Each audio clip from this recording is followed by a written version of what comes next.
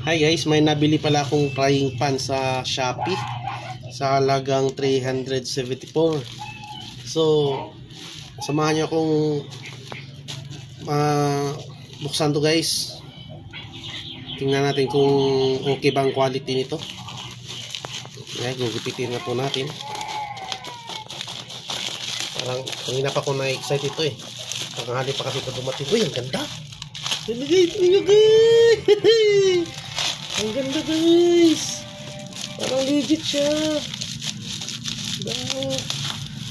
Nakita ko lang kasi sa Shopee tapos nagulat na ako marami nag-comment. Nice daw. Tapos malaki, mura.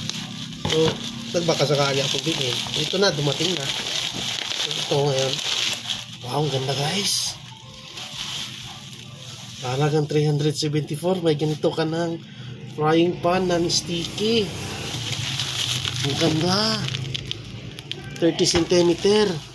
Oh. Bili na kayo guys. Ang ganda oh.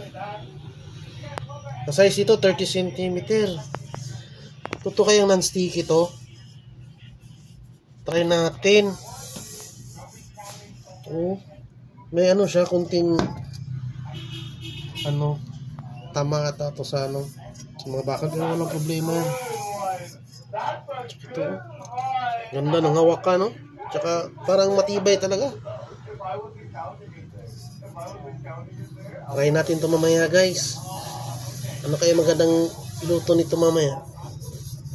Siguro adobong manok. Try natin mamaya. Sige guys, punta muna ako sa palengke guys ha. Bye!